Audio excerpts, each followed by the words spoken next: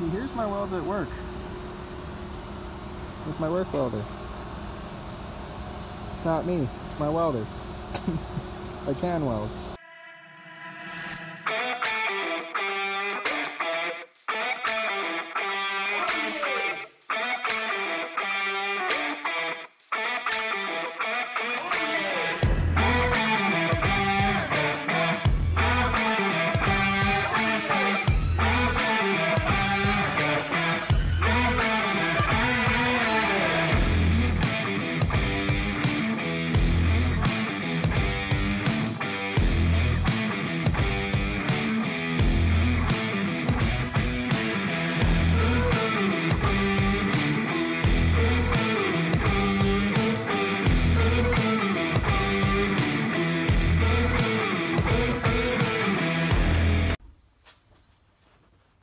So it's kind of dark, but this side fits in. Um, doesn't actually hit the control arm bracket like the other side. Uh, it actually just kind of fits right in. It does, when I start to spread it out, it does start hitting into the cross member like the other side did. I don't have to hit it out or bring it out but I might do that dent and bring it out a little bit anyways, just not be lazy, bring it out, kind of make it symmetrical the other side, and give myself a little bit more room for the, uh, the filter, the oil filter. Oil filter does fit on, there is room, but you got to kind of squeeze it in, so if bring that out just a little bit. Um, might have to see though, it might, it's really dark, I can't really show you right now, but uh, it is kind of close to the steering here. Uh, so bringing it out might bring it even closer to that. I don't know. It should be okay. Uh, there's a little bit of room. And I did just finish putting plugs in and checking with the wire. As you can see, it's right there. Um, they all fit nicely. Uh, a 45 degree angle would fit better on this side than the 90s, but it's what I got. Uh, if I ever do play, by plugs. My driver's side, I'll probably do some 45s. Uh, anyways, yeah, they fit. The only pain is trying to get the seven cylinder um, plug in and out. Not because of the header, but because of where the steering shaft is right there. Um, so yeah, one step closer. Got a few days off work here. I got a long weekend, so uh, hopefully get those all welded up and in. Uh, I gotta still go get belts. And I can put those in, put the rad in. Uh, wire it up. I gotta extend some wires because uh, the small block, the oil uh, pressure was out the back here and on this one it's down by the oil filter.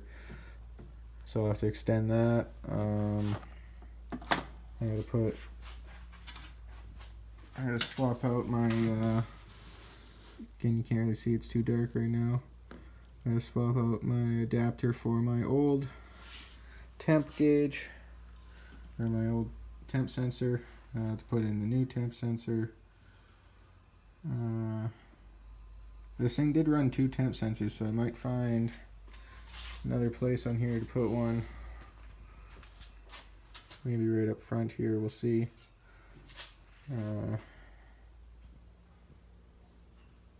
yeah. I think that, oh, and then I got to deal with the valve covers. So I'm trying to find some uh, ready rod or all thread or whatever you want to call it for there because they don't bolt way down here like the other ones. They bolt on the top. I need really long bolts or make really long studs. Uh, Princess Auto didn't have small enough ready rod. So I'll have to search somewhere. See if I can get some. Uh, what else? Uh, then just hook up a little bit of wiring. I'll put some oil and a dipstick tube. Um, clean up the wiring in the car. Because when my brother had this, he pulled the stereo out. Or my dad pulled the stereo before he gave him the car. I, I don't know. Um, I think it was my brother, but I might be wrong.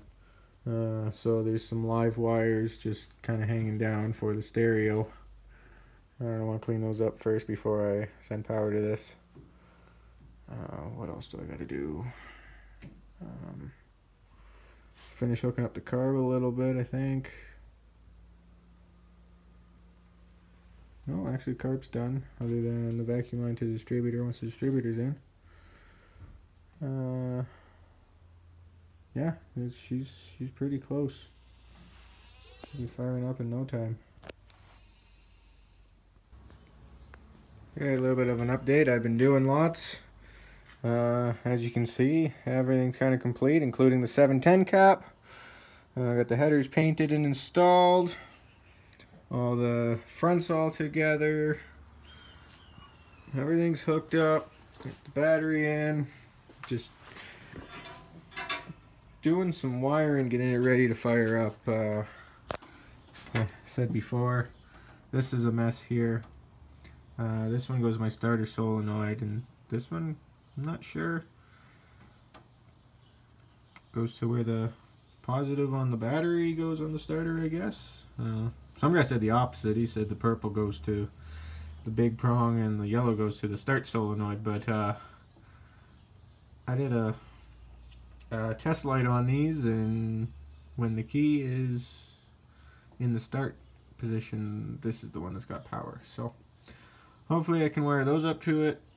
Um, get those in there good. I had to um, uh, switch starters. See technically this yellow one's supposed to go to a different solenoid on the uh, normal starter but it didn't fit so I had to steal the one from the Suburban and it's only got the big prong and the little prong on it not two little prongs uh, just capped off a couple vacuum line things for now. I think on the small block, my dad had just from PVC pipe to that one. I normally see the tranny on that one, but the tranny was hooked up to the carb. So, as you can see, I got his carb on here. Um, like to eventually get the Holley on. Um, excuse the mess of them just kind of tossed over here. This Edelbrock, I was actually going to get on and get it running with it because that Edelbrock came with this engine and it runs with this engine. So I was going to put that one on. But this one is all set up for his choke and throttle linkage and all that stuff. So I'll try to get it running with this one. If I can't get it running with this one, then I'll get it running with my Edelbrock. And then eventually when I get it running and stuff, because I've never had anything running with that Holley, uh, eventually I'll like to put the Holley on. Um, and actually my landlord was over yesterday and took a look at the car and said he's got a nice Holley double pumper 750 I could probably get for cheap. So I might eventually upgrade to that one. Um, yeah, I just got to do not the valve covers on. I can run the uh, heater hose lines. Um, just got to finish up the starter wiring. Do the plug wires. Um, once I get my gauges hooked up. I got new gauges. Nothing special, just cheap auto meters. Um, just wiring those up right now. I'll go into dash and show you in a second the Nightmare that's under there. Um, but once my gauges are wired up, um, I'll spin the distributor, well the, the pump with my distributor tool and make sure I got oil pressure through everything. And then uh, and put the distributor in and should be ready to fire up uh, if there's no other complications. As you can see it's a mess down here. Uh, the only ones I've done are those which I'll zip tie up but uh, like the tach wires I think that's supposed to be power for the tach. It's not hooked up and electrical taped. Uh, there's some awesome more wiring for the tach. This is the ground for the tach. Um, a whole bunch of other just wiring. I did clean up. There was some wires around here that I have no idea where they are or go to. You can see there's a little orange wire over there. Came out, spooled around all over here. No idea where it goes. It goes under the carpet. So I'm thinking maybe it's a light for in here. I don't know. I'll try to hook it up at some point. I thought the wires down here were for the stereo. But now I found the stereo wires. Um, yeah, uh, headlights are hanging bikes are ripping. Um, yeah, it's it's a real mess under here. Not surprised though. I mean, my dad did have this car. My brother did have this car, and uh, it's how many years old? 53 years old. So uh, yeah, um, not surprised. I don't think I've ever bought a vehicle that didn't have a mess under the dash, other than uh, my Avalanche. Everything else was a nightmare.